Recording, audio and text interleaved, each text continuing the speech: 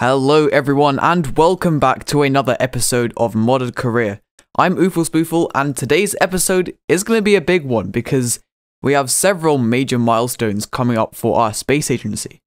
Uh, well, two to be exact, but they're still, you know, pretty big milestones nonetheless.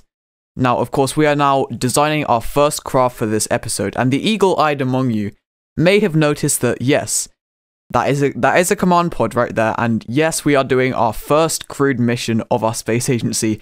Finally, I have left it kind of late to do my first one. To be honest, we have we have had three episodes of just you know probe after probe, but finally we are stepping into the wonderful world of crewed spaceflight. Now, Jebediah Kerman is going to be our brave Kerbonaut. He's going to be the first one in orbit, in fact. And uh, he's going to be going to a polar orbit. And that's because I thought that, you know, the EVA report and the crew report experiments were biome specific. Yeah, it turns out that they're actually not. I'm not sure why I thought that because I've, I've done this before. But yeah, oh well, slightly pointless going into a polar orbit here, but we still do get some decent science nonetheless. There was not a contract for this, I just kind of felt like doing it.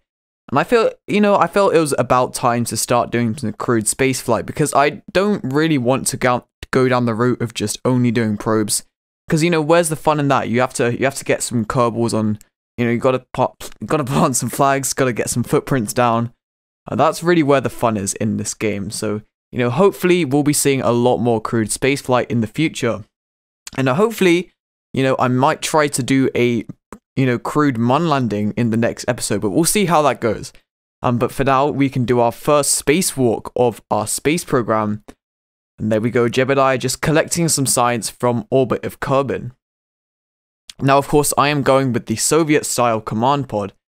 And um, it's not actually something that I've used before, but now that I've actually used it, I have some respect for it. You know, I might try using it a lot more because there's just something really, really satisfying about the way it just kind of wobbles into place on re-entry.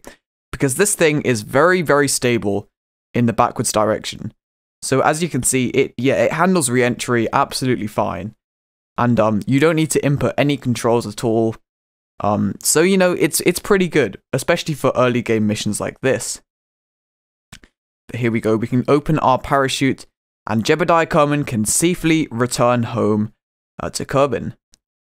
And of course, we are splashing into the ocean at a nice, comfortable, low speed.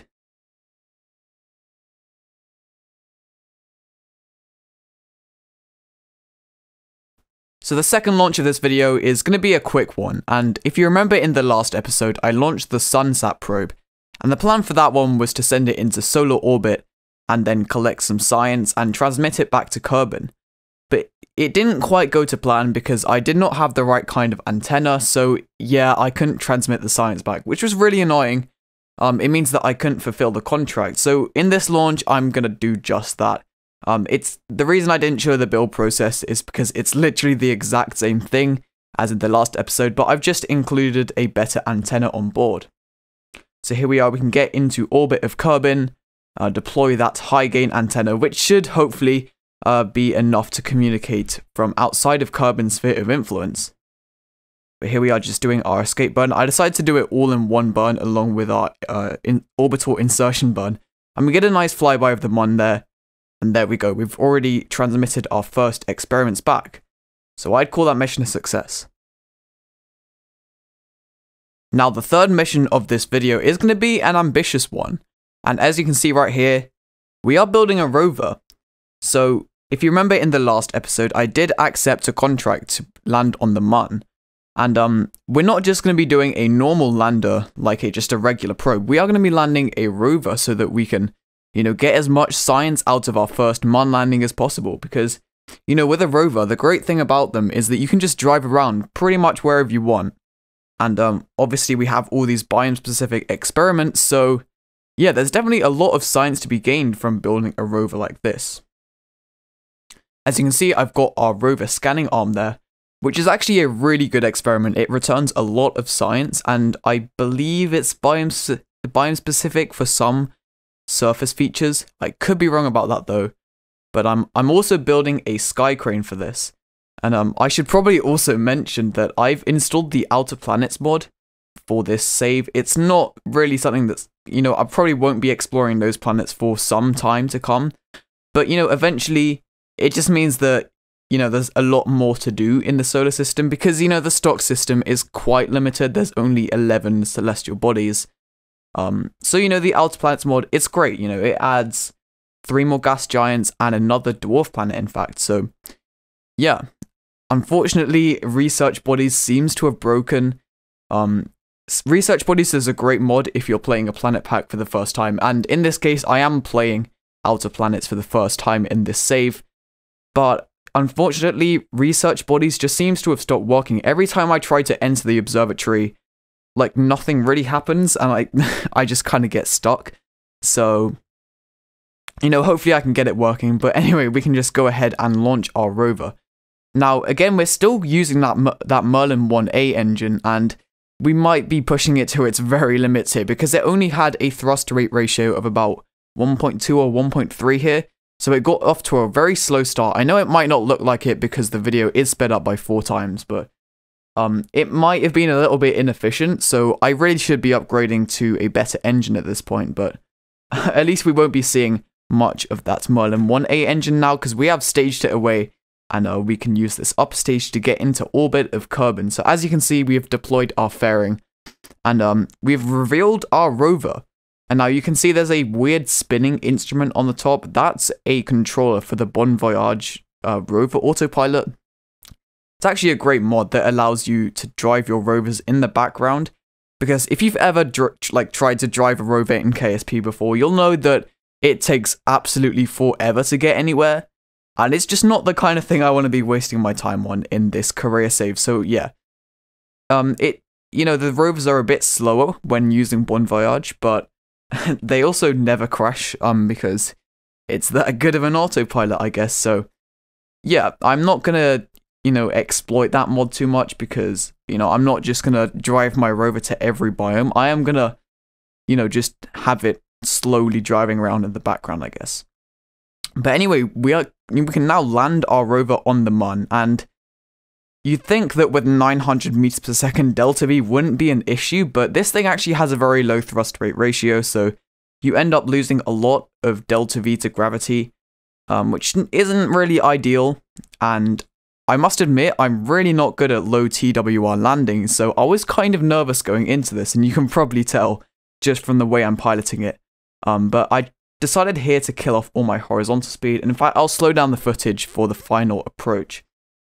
But right here, everything was going just fine. I had my speed completely under control, and I probably would have landed this just fine, but then I looked in the bottom left corner, saw that my delta V had gone below 100, and, you know, I probably would have been fine at this point, but I kind of panicked a little bit, and I shut off my engines, and, you know, decided to do a last second burn, and yeah, that last second burn,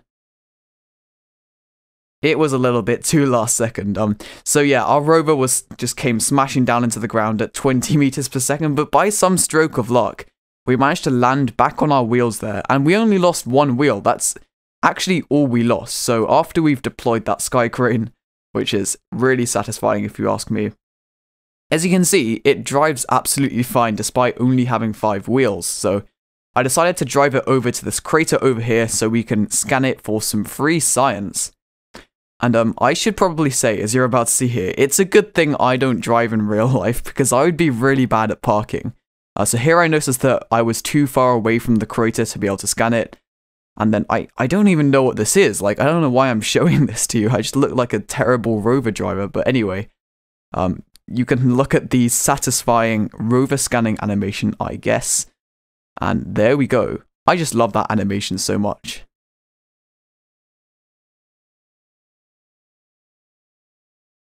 So the fourth and final mission of this video is going to be another short one.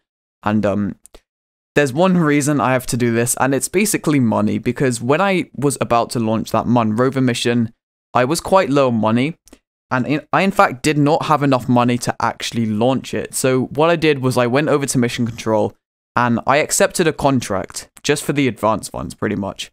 Now, I am going to be a good space agency manager and actually do the contract rather than just cancelling it. Um, so yeah, that's what we're doing right here. And the, the contract is to perform a low resolution resource scan of the Mun. So, you know, that's the kind of thing that we have done quite a lot in this uh, series already. So I'm not going to show, you know, the really lengthy process of me doing this. We're using the same trick to get this thing into a polar orbit of the Mun. I know I've mentioned that, well, only twice really, but it feels like I've mentioned it a million times at this point. Um, and I also know that that probe looks like some weird cartoon insect with those two antenna dishes. That was really not what I was going for when I designed this, but that's just the way it turned out, really. So, hey. So, yes, we can put this thing on a collision course and then raise our periapsis using a normal burn. And I'm putting this thing in quite a high orbit, in fact. It's going to 300 kilometers, uh, just because that is the ideal altitude for our multispectral scanner here. And there we go, we can do our insertion burn. And then we can also crossfade across to when we've completed our ScanSat map. Well, not quite completed, but it's close enough. So there we go. Anyway guys, that is going to do it for this video. So if you did enjoy, Make sure to leave a like, subscribe, and leave a comment and all of that good generic YouTube stuff. If you want to join my Discord, there's going to be a link in the description. But anyway, thanks so much for watching. I hope you enjoyed. And until next time, have a great rest of your day.